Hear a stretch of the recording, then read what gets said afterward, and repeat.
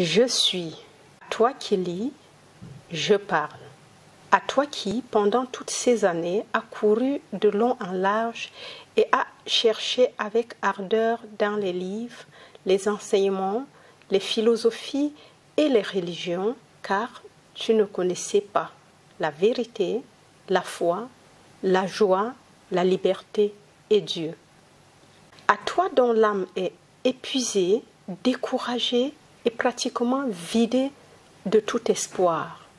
À toi qui trop souvent n'a qu'entreperçu cette vérité pour finalement constater qu'elle s'évanouissait dans le néant tel un mirage du désert après que tu l'aies poursuivi et tenté de la saisir. À toi qui pensais l'avoir trouvée en la personne de tel grand instructeur, peut-être maître à penser de quelque association, fraternité ou religion que toi-même as reconnu comme maître, aussi merveilleuse que soit la sagesse qu'il professe et les œuvres qu'il accomplit, ceci pour réaliser plus tard que ce maître n'était comme toi qu'une personnalité humaine, avec ses défauts, ses faiblesses et ses péchés secrets.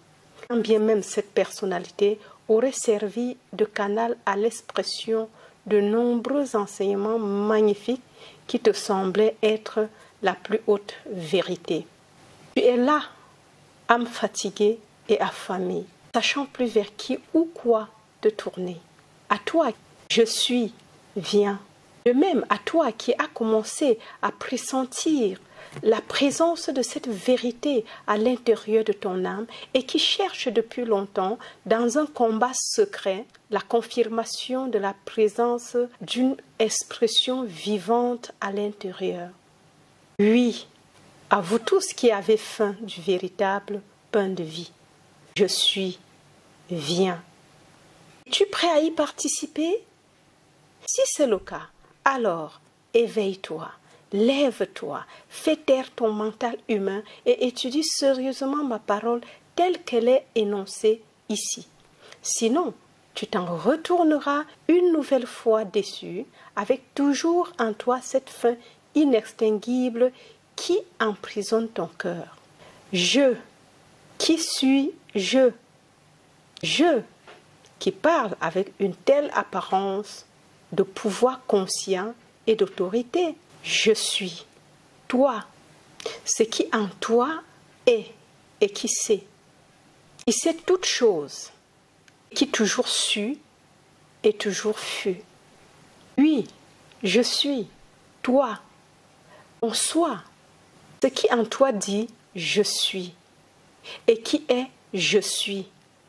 Cette partie transcendante et profonde de toi, en même temps la plus élevée qui tressaille à l'intérieur à mesure que tu lis, qui répond à ma parole, qui perçoit sa vérité, qui reconnaît toute vérité et abandonne toute erreur où qu'elle soit.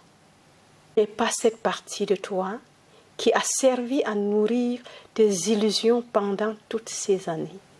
Car je suis ton instructeur réel. Le seul qui soit réel et que tu aies jamais à connaître. L'unique maître. Je, sois divin. Je, le je suis en toi, te fait parvenir mon message, ma parole vivante, comme j'ai tout apporté dans ta vie, que ce soit un livre ou un maître, pour apprendre que je, et je seulement, ton propre soi véritable, suis l'instructeur en toi.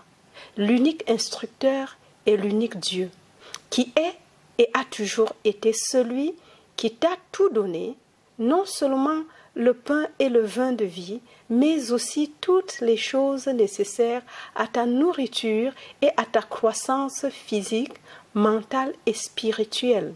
En conséquence de quoi, tout ce qui trouve un écho en toi, à mesure que tu lis mon message lancé de l'intérieur à ta conscience humaine extérieure et n'est qu'une confirmation de ce que le je suis en toi a toujours su, à l'intérieur, mais qu'il n'a pas encore pu traduire en termes clairs et perceptibles à ta conscience extérieure.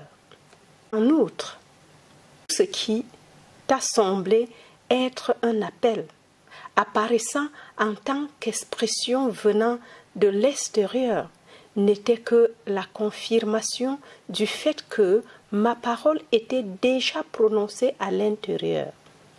Cette expression extérieure était l'instrument ou le canal que j'ai alors choisi pour atteindre et marquer ton mental humain personnel.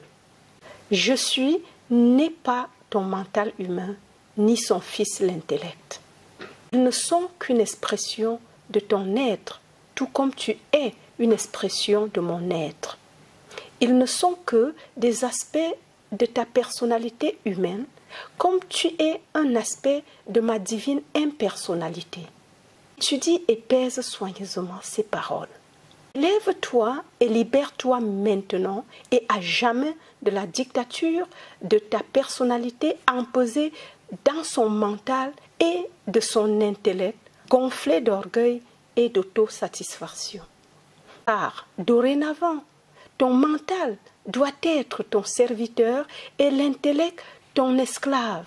Si tant est que ma parole puisse pénétrer la conscience de ton âme, je suis Viens maintenant à la conscience de ton âme que j'ai expressément préparée pour recevoir ma parole.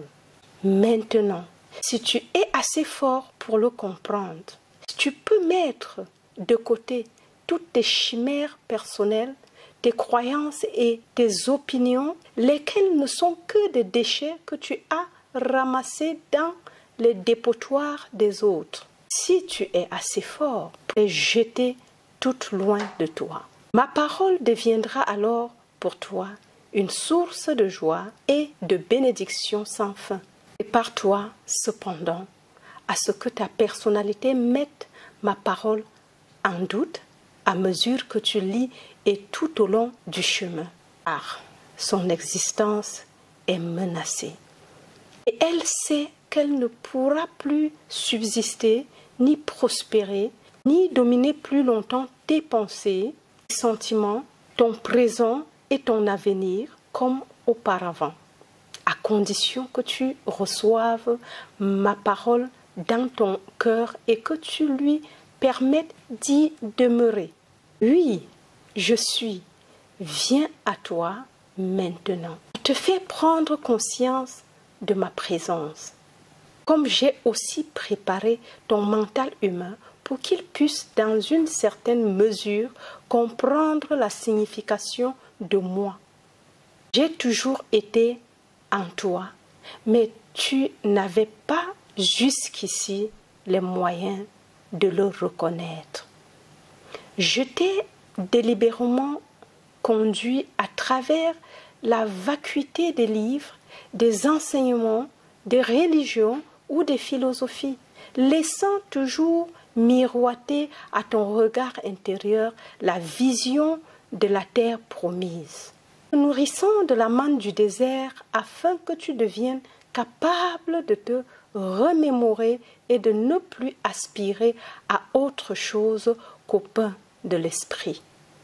Je t'ai maintenant conduit sur la rive du Jourdain qui te sépare de ton héritage divin. Le temps est venu, à présent, pour toi de me connaître en toute conscience. Le temps est venu pour toi de traverser et d'entrer dans Canaan, la terre du lait et du miel. Es-tu prêt? Veux-tu y aller? Alors, accomplis ma parole, laquelle est mon arche d'alliance, et tu passeras à pied sec.